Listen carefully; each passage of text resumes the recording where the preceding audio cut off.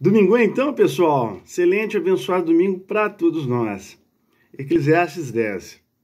Assim como a mosca morta produz mau cheiro e estraga o perfume, também um pouco de insensatez pesa mais que a sabedoria e a honra. O coração do sábio se inclina para o bem, mas o coração do tolo para o mal. Mesmo quando anda pelo caminho, o tolo age sem o mínimo bom senso e mostra a todos que não passa de tolo. Sair de uma autoridade se levantar contra você, não abandone o seu posto. A tranquilidade evita, evita grandes erros.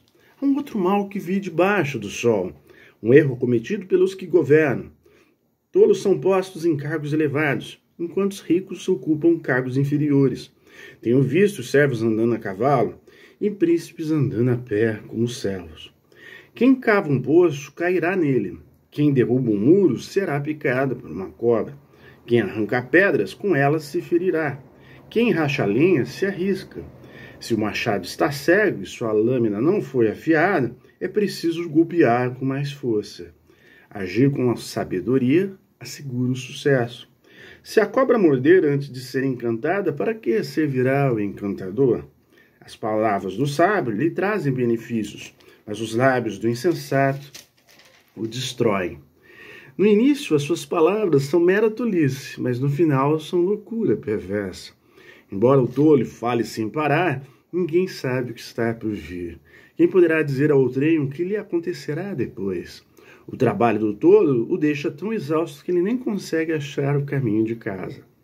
Pobre da terra, cujo rei é jovem demais, e cujos líderes fazem banquetes logo, logo de manhã. Feliz é a terra cujo rei é de origem nobre, cujos líderes comem no devido tempo para recuperar as forças, e não para embriagar-se. Por causa da preguiça, o telhado se enverga. Por causa das mãos indolentes, a casa tem goteiras. O banquete é feito para divertir, e o vinho torna a vida alegre. Mas, tudo, mas isso tudo se paga com dinheiro. Nem pensamento insulte o rei, nem mesmo em seu, em seu quarto amaldiçoe o rico porque uma ave do céu poderá levar as suas palavras e seres aliado, alados poderão divulgar o que você disser. Grande abraço, maravilhoso domingo para todos nós. Valeu!